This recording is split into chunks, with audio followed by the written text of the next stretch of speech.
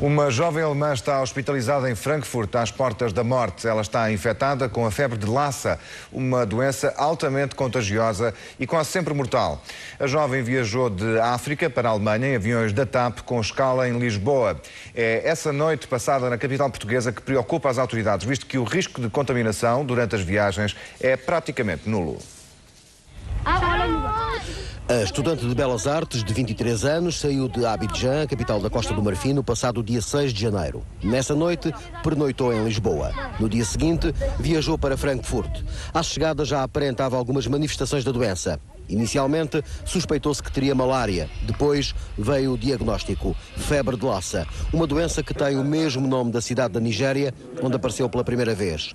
A febre de Lassa tem algumas semelhanças com o célebre vírus ébola. Viroses hemorrágicas levam pouco a pouco o paciente a ficar sem defesas imunológicas, mas apenas uma pequena percentagem é afetada pelas hemorragias não são do mesmo grupo de vírus, eh, o LASA é do arenavírus, eh, enquanto que o ébola, a maior parte dos doentes têm manifestações hemorrágicas, ou seja, sangram.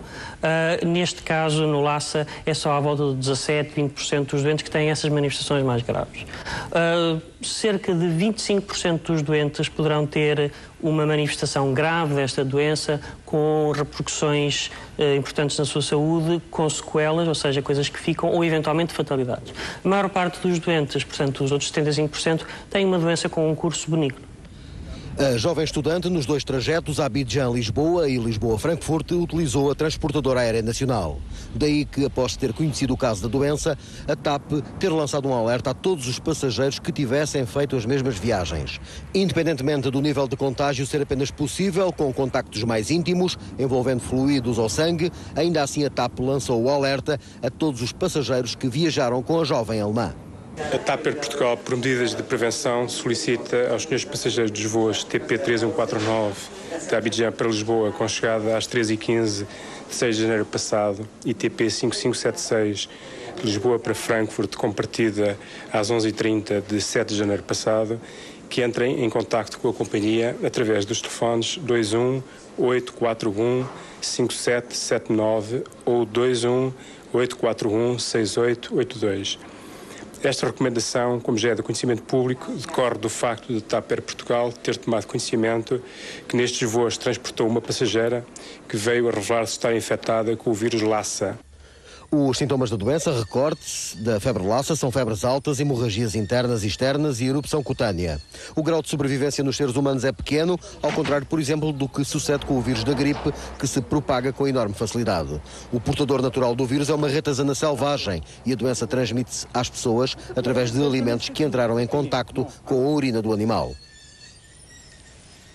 O voo da Costa do Marfim até Lisboa tinha 66 passageiros. O voo de Lisboa para Frankfurt tinha 110 pessoas. 20 destas pessoas já contactaram a TAP, mas nenhuma delas apresenta qualquer sintoma da febre de Lassa. Esta tarde, no Ministério da Saúde, as autoridades portuguesas reforçaram as garantias de que não há razões para alarme.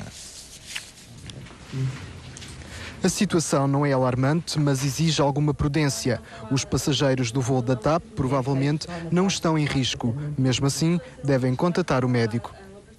Apesar do baixo risco de contagiosidade, passageiros que eventualmente tenham utilizado o mesmo voo ou outras pessoas que venham a ser identificadas como tendo contacto uh, com a doente em Portugal são aconselhadas a monitorizar o seu estado de saúde. É certo que o vírus pode contagiar, mas só através do contacto íntimo. As informações que o Ministério possui neste momento são tranquilizantes. Não é um vírus de alta contagiosidade nesse sentido, em que todas as pessoas que estiveram naquele avião estarão em grande risco de contrair a doença. É um, risco, é um vírus de baixa contagiosidade. O Ministério da Saúde e a Organização Mundial de Saúde têm estado em contacto permanente. Agora só falta a TAP entregar a lista dos passageiros para que um eventual contágio seja despistado.